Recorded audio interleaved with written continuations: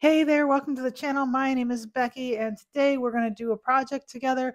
I'm doing a make it your own challenge where I take one old kit that I've got laying around and do it, but I'm going to make changes to it to make it my own.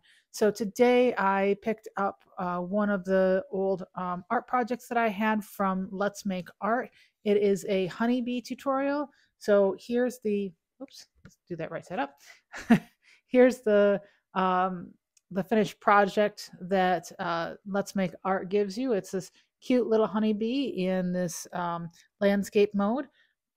It also comes with instructions. There's this instruction sheet, kind of a step-by-step -step guide. It comes with uh, line work for the bee itself, as well as the paints needed and some paper needed. So I really liked the project, but I wanted to make it different. I wanted mine to be in portrait mode, and I wanted to add a little bit of additional embellishments to it to make it more interesting because I felt like just a single bee in portrait mode was kind of boring. Uh, a couple things that I really liked about the idea of doing this is I've got a couple of goals for myself that I set for 2023. One of which is to use up art supplies that I've got lying around, and the other one is to make more art outside of my sketchbook. And this actually fits into both of those categories. So I was super excited to do it. So um, why don't you join me in the disembodied hands view and we will get started.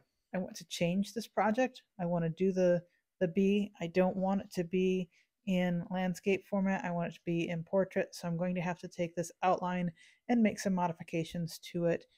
Additionally, I want to put some honeycomb shapes up here in the corner and use this gold foil uh, to embellish those. So I'm going to take this project, but I'm going to make it my own. I'm going to do my own twist on it. So in order to get started, I think the first thing I'm going to need to do is figure out how I need to change this bee in order to get it to fit on the page. I don't like that the uh, back of it is so chunky, so I'll probably make him a little bit skinnier. But uh, I like the overall idea of the layout here. I like the look of the bee in this painting, so I'm going to follow a lot of the steps fairly uh, closely, but definitely make some modifications to make it my own. So as I mentioned, the first thing that I think I need to do is take this bee and make some modifications to it. So I'm going to take a piece of paper and I'm going to trace some of the bee stuff on here and then make some minor modifications as I'm working on it. I kind of like the overall shape of the, I guess this is probably the thorax here, but I'm just going to make it a little bit skinnier. So I'm not quite tracing exactly what was there. I'm just making a little bit skinnier and roughly following the ideas that it had on there. Um, making sure to make this look like it's rounded out a little bit. Um, it's not exactly following what they had there. Uh, there's a shape here. There's a little shape here. Not sure what these shapes are. I'd have to look at the finished piece again to see what that is. And then there's fuzziness here. And if you've ever seen a bee up close, they definitely are a little bit fuzzy, hairy. Um, it's kind of neat. You can actually, some bees, you can pet them. It's kind of weird to think about. I actually have done that before. Uh, I had um, one of my brother's friends had bees for a little while, and they were a very tame sort of bee and he knew what they looked like and we saw one in the front yard and like oh yeah you can pet these. So i actually did. I picked up the bee and it was perfectly happy to be on my hand and i pet it. Um, and it was just perfectly happy to have me hold it like that and it didn't do anything doesn't purr or anything like that. That'd be weird wouldn't it? Um, but that was kind of a neat little experience when i was younger. As you can see here, I'm just, well, maybe you can't see, but I'm just putting the legs back on and I'm not quite following exactly what was there before, but um, just generally trying to put legs where I want them and making things a little bit smaller. I definitely know that I need to bring these wings in. So I'm wondering if instead of having them straight out, I actually bring them down a little bit so maybe I'll have them kind of come down like so. Um, oh gosh, if they go out that far, that's not going to fit. Maybe like so, and then like so.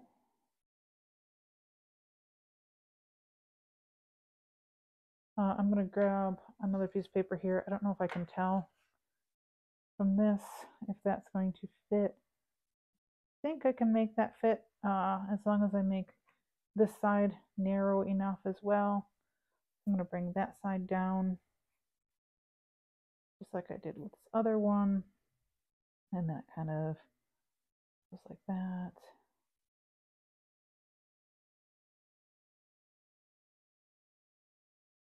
and then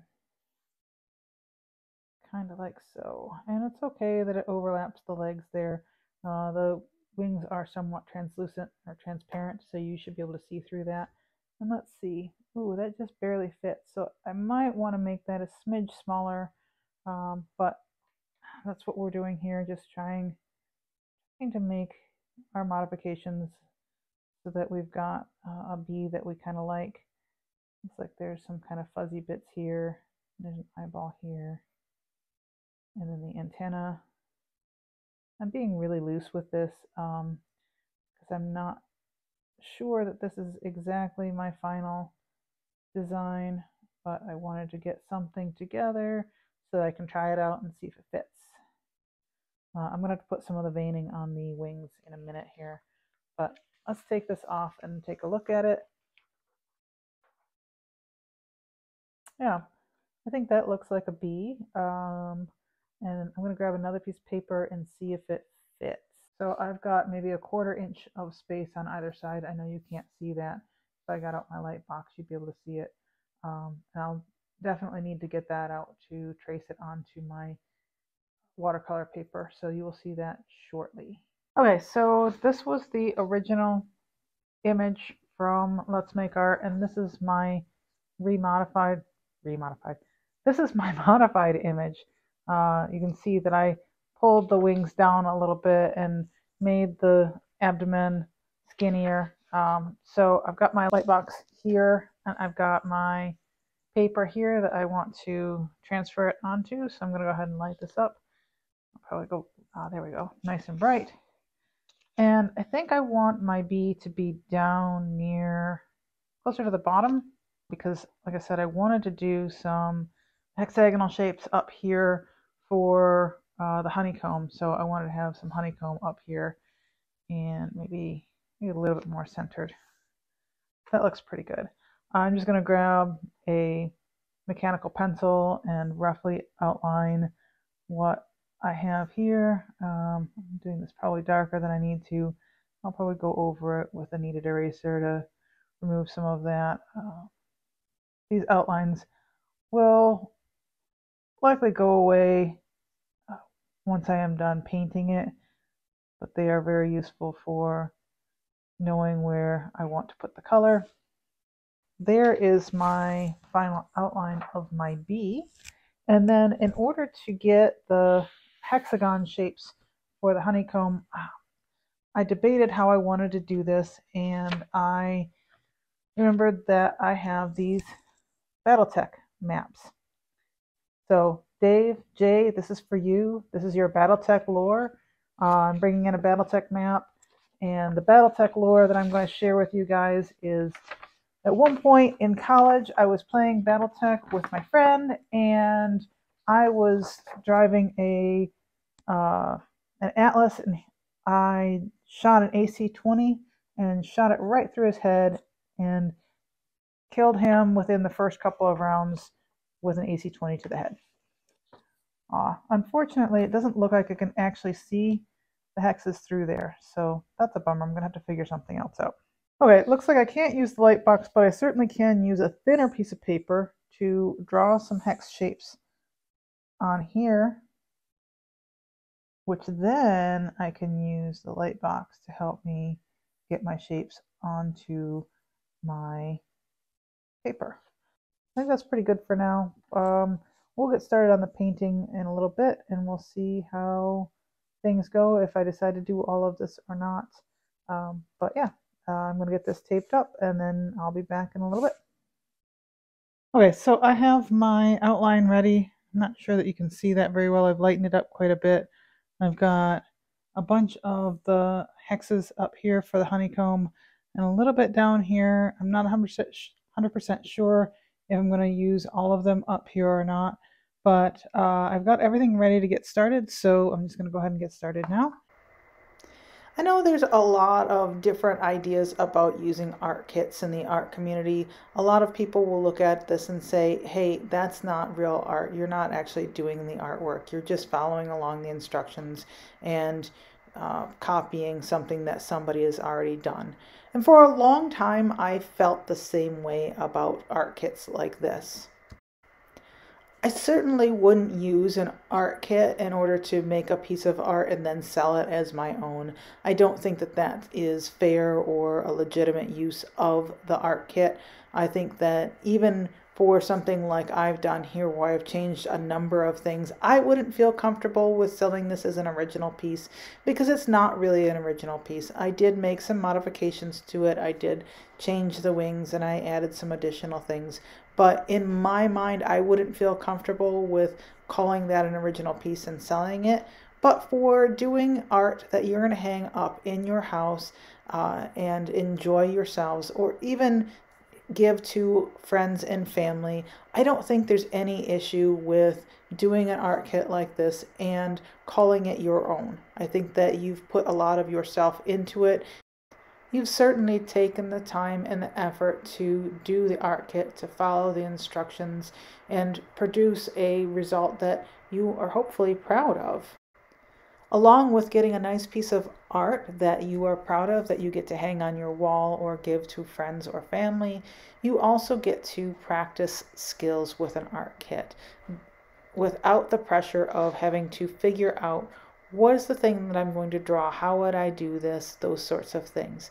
The art kit will give you all of the supplies that you need in order to be successful, as well as instructions on how to accomplish some techniques that you might not know how to do on your own. I'm relatively new to watercolor, so doing things like this makes me feel a lot more comfortable with the material and feel like I could make projects on my own without following the art kit. And that's really important. And I think that's a really nice thing that things like this can provide to artists of any caliber. Another thing that you saw me do in this video was actually tracing things. And I was tracing line work that was not my own. If I were going to sell this as an original piece of art, that would certainly be frowned upon. I don't know that that's necessarily against the law, but I would certainly feel very wrong about trying to represent that as my own work because I did not draw the line work that I was tracing. As far as tracing the hex shapes, I don't see any issue with something like that. Those are difficult to draw. Those are a nice shape that you can trace and get accurate. Same thing with circles and things like that. If I had wanted to do this project, but be able to call it my own original idea, I would have redrawn the bee. I was actually, honestly, being lazy. I did not want to redraw the entire bee. I wanted to make some few minor changes to it and do this project, but I also wanted to add my own embellishments to it. So that's what I did. And again, I don't see an issue with that, especially for something that you are keeping for yourself or giving to a friend or family and not saying that it's your own original artwork. I'm not by any means trying to downplay the use of art kits and say that they shouldn't be done, that real artists don't use them, or anything like that. I like art kits. I like to have them. They are a fantastic way to practice things and materials that you are not familiar with. I am not a watercolor artist. I have done some watercolor, but I am not super familiar with it. So things like this are really nice for me to use and get more familiar with the material and more familiar with different techniques. I feel the same way about tutorials. I think that they are a fantastic way of learning new skills and learning about new art supplies. I love doing tutorials either found on Skillshare or on YouTube or whatever.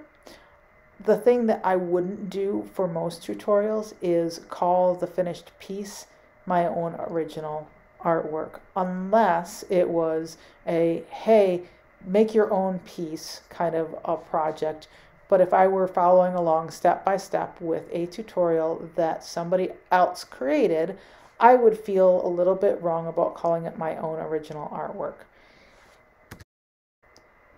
But after following along with a tutorial or doing an art project like this, I would feel much more confident in using new skills that I had learned or using new art materials that I had tried out.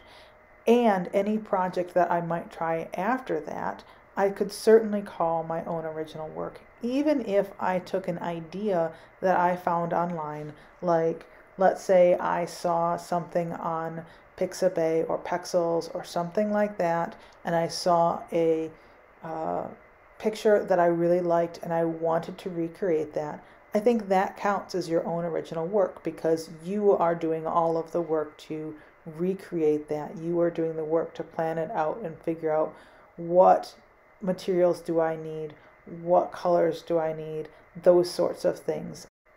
For me, figuring out what materials I'm going to use actually doing all of the layout work, those sorts of things, that's what I would consider an original piece of art. I am not a lawyer, so do not take this as legal advice about how you can create original work and what you can call original work. Let's take a minute and look back up at what I'm doing on the bee right now. So I've got the legs in place and the most of the body done.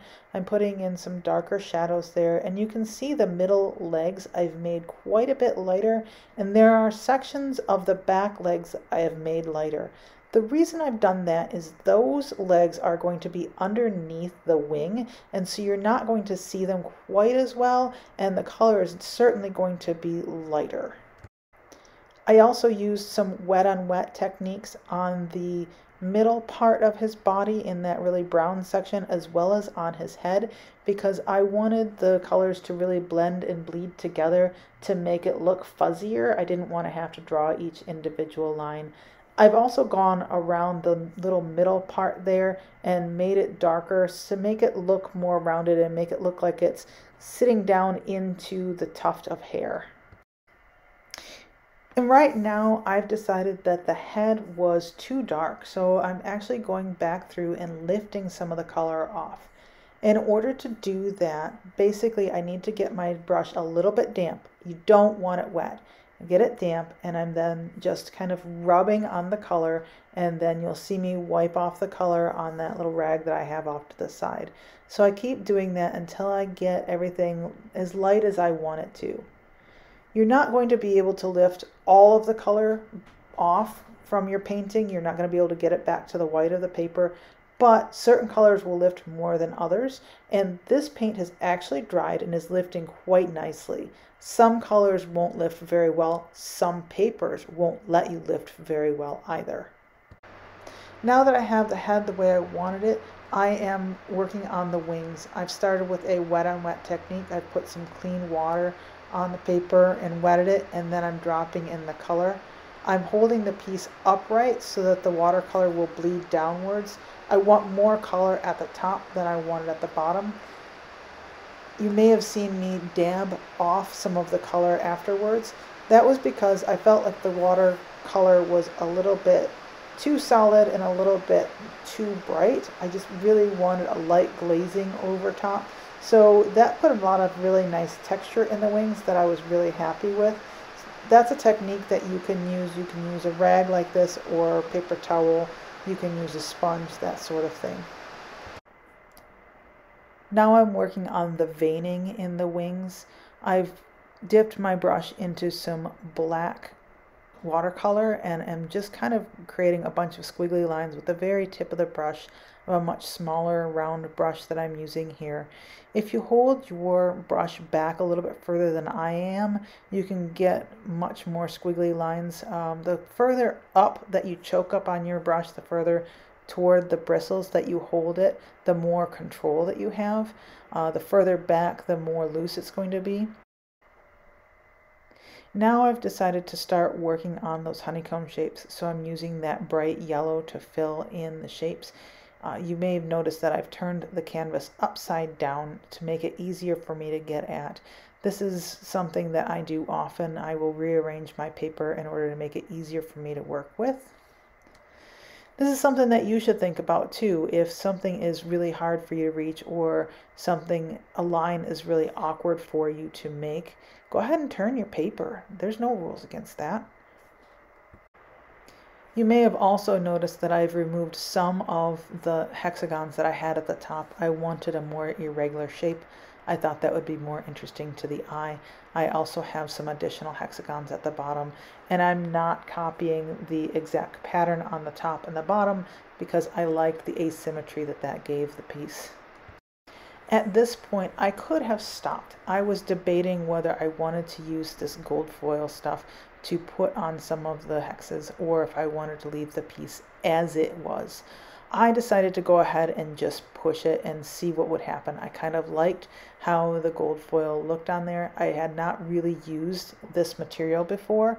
This came with a paint pour kit that I got from Michaels and I had used some of the gold flake in a paint pour project but I had not actually glued it onto anything. So I wasn't really sure how to do this. So I grabbed some Elmer's glue and watered it down with some water and took a crappy paintbrush that I didn't care about because I was afraid that it would ruin it and painted it on just like I would paint color on and then smushed down the foil.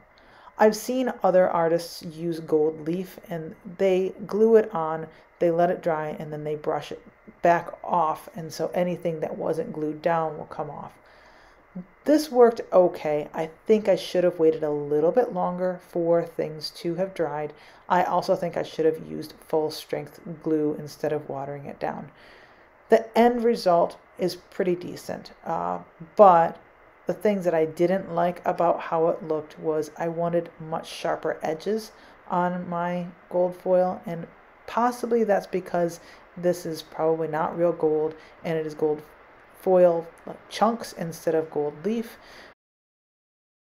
I really had a lot of fun with this challenge. It was fun to pull out the watercolors and to do some of these Let's Make Art kits that I've got lying around that uh, I just wanted to use up. I've got this really cool project now, um, this cute a honeybee with the fun gold foil on it. I got to use some new materials like the gold foil and learn some stuff about that. And like I said, use some stuff up. I'm going to put it in uh, this picture frame that's back here. That's why I wanted to make it portrait mode so that uh, I didn't have to rearrange that whole thing back there. Uh, and I just kind of like that.